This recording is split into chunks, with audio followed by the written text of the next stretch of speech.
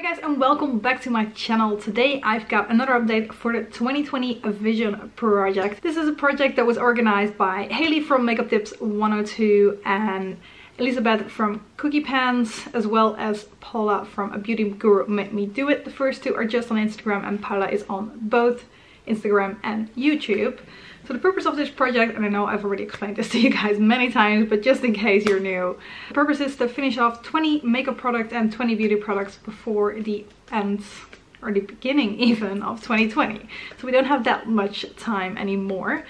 Um, let's go right in because I've actually got three empties this time and I'm really happy about it and there is makeup in here as well. Yes, we're getting there. Okay, so first of all the beauty items, just because I've only got two and one of them is now finished. So just start off with the finished item. This is the solid perfume that I was working on and right now it is completely empty and I'm really happy about it. Um, yeah, I'm happy about it.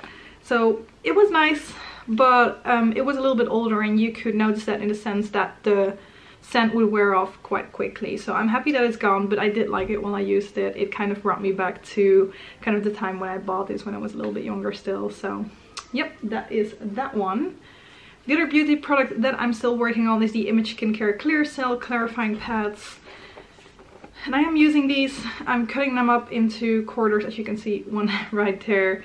Um, I feel like I'm getting close to halfway on this one, but I'm not using it enough. I still don't think to actually get this one completely empty by the end of the year. Uh, I'm using it consistently. I'm trying to use it every other day now that I've finished off the um, kind of retinol mask, overnight retinol mask that I was using before because I don't have that one somewhere in between anymore. So it's moving a little bit quicker, but I've still got quite some um, paths to go. So let's see how far we can get. But that's the last beauty product that I still have in this project. So that's 19 beauty products already done. Only one more to go and we've still got six months. So maybe I'll surprise myself. Anyway moving on to the makeup items. I've got six items. I think I've got to talk to you guys about today so let's take a look at them. Uh, first of all we've got the pout polish from Sleek in uh, Sugar May from the Avoir La Pêche collection um, also for this one, the pan has expanded. I've been working on this one mainly over the last two weeks for like the lip balms that I've been using. So I managed to expand the pan, expand the side pan, which I'm pretty happy about. Um, still got quite a way to go, but it's it's getting a little bit more slanted. So hopefully this won't take me another six months to finish off. Um, let's see. Okay, we are talking lip products, so let's just keep talking lip products if I can get the cap back on um, I used this one. This is the Rimmel Apocalips Lip Lacquer in Apocaliptic. And this is the bright pink that I'm actually wearing right now. Um, I've only used it five times. This is the fifth time. So it's nothing major. But I actually managed to get some uses in, which is what I wanted to do more over summertime. Because this is quite a bright, kind of summery tint in my opinion. So I like using it. Um, got some compliments on it as well, which is always nice. Uh, but of course, there is no progress I can show you yet. Five uses and a lip lacquer. This is gonna take some time. But I'm using it. It is sort of in my rotation right now. I've I'm kind of trying to put this one on in the morning and then just bring something with me that is a little bit easier to reapply um, for during the day. But yeah, it's moving. So that's good. And then I have one more lip product to show you guys. And that is the Catrice, um, what is it, Absolute Moisture lipstick in Lovely Rose. I have used this, but not as much on my lips. I've been using this as a cream blush lately. Um, I feel like it's just a little bit too metallic for me to actually like putting this on my lips a lot. So I noticed I wasn't really gravitating towards it. So I thought, why not use it as a cream blush? Because I finished off the lipstick that I was using as a cream blush.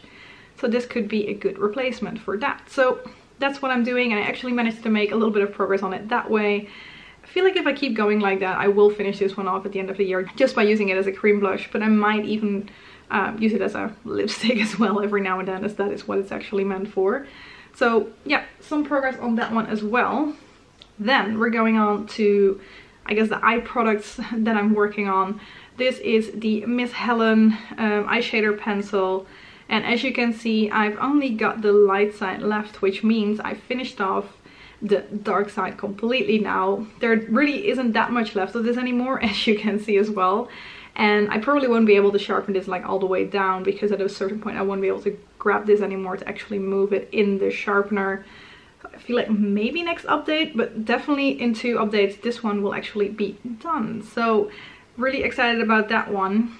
One product done and one product close to being done. So that is that one. And then another product that I finished is this Make Up For Ever eyeshadow in M536. I use this in my brows and kind of as a bronzer as well. And it is completely empty now. I'm pretty happy about that as well. I do still need to buy a new bronzer actually because this was the only bronzer that I had left. I'm using another eyeshadow in my brows now, which actually I like better. It's from the Naked palette actually. Let me show you guys while I'm at it.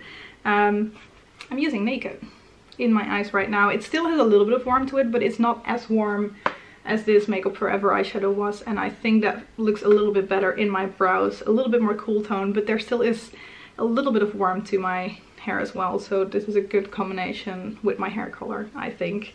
Um, but I can't really use that as a bronzer because it's too much in the middle of all these other things. So I definitely need to buy something that I can use as a bronzer instead. But yeah, that is the progress that I've been making. Um, I'm pretty happy to have finished off three more items. I've still got loads of makeup products to work through. Most of them would be lip products as well, although I've got some eyeshadows and a blush and a highlighter in there as well that I uh, need to get to work on as well. Um, yeah, I don't think I will be able to finish everything off, but I'm trying. Um, so yeah, anyway, I'm gonna definitely try to use this one more and I'm gonna see if maybe I can even finish this one by next time. So we'll see. That is it for today. Thank you guys very much for watching this video. Don't forget to subscribe if you want to follow along with any of my other projects or this one specifically, if that's the one that you really, really like. And that is it. Thank you guys very much for watching and I hope to see you in my next video. Bye bye!